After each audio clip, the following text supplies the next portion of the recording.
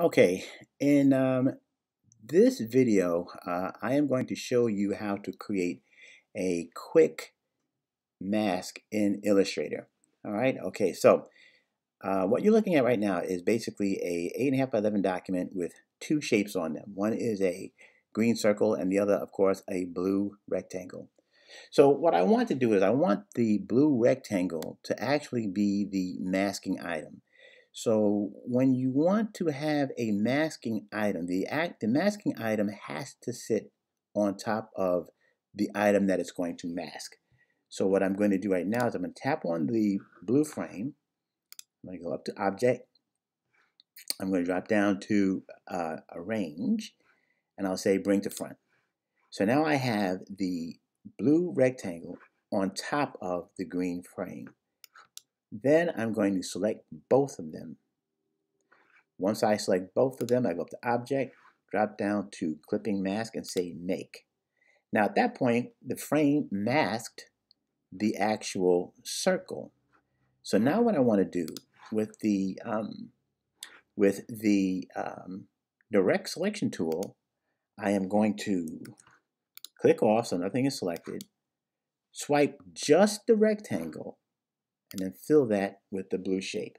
So now what happens now is I have this rectangle that's actually the masking item.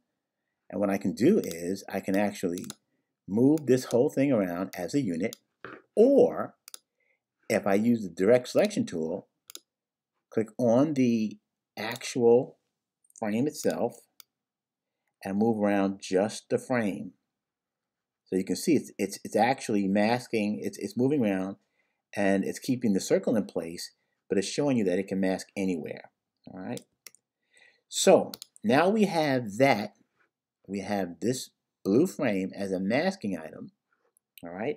And let's see how we can use that in other applications. So let's say, for example, we want to take this and we want to put this in, say, InDesign. All right. And you might say, well, there's a lot of white space around it. You don't want all that white space. You just want the actual graphic, no problem.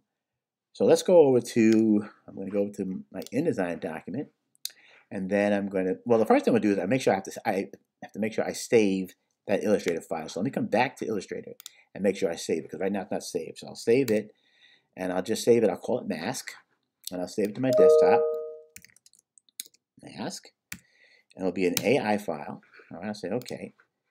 Okay, so now I have this mask AI file saved to my desktop. Okay, now next up, I'm going to go over to my InDesign doc, all right, and then I'm going to go File, Place, File, Place, and at this point, I can navigate my way down to the Mask AI, put this over here, open it up, and then if I just click and drop, it'll bring it in at same size. If I click and drag, I can scale it. So I'll just do a click and drop, so it comes in the same size. And as you can see, it only brought in the image. It didn't bring in all that extra white space, all right? And let's say, for example, I want to use this in Photoshop. So now I'm going to go over to my Photoshop file, and I'll say open. Okay, and, and go here, let's see, open. All right, now I'm going to navigate my way to my mask Illustrator file. And even though it's an Illustrator file, it's going to it's going to rasterize it to bring it into uh, Photoshop. Now you have options. If you're going to use Photoshop, you, if you bring it in with the bounding box, it'll bring in just the image. If I were to use the trim box, you can see it'll bring in all of that white space. It'll bring in the entire page. So really, we want to bring in just the bounding box. And you can bring it in at any uh, resolution. I'll bring it in 300. It's a pretty high res, so it'll be nice and sharp. And I'll say OK. And so voila, here you have it.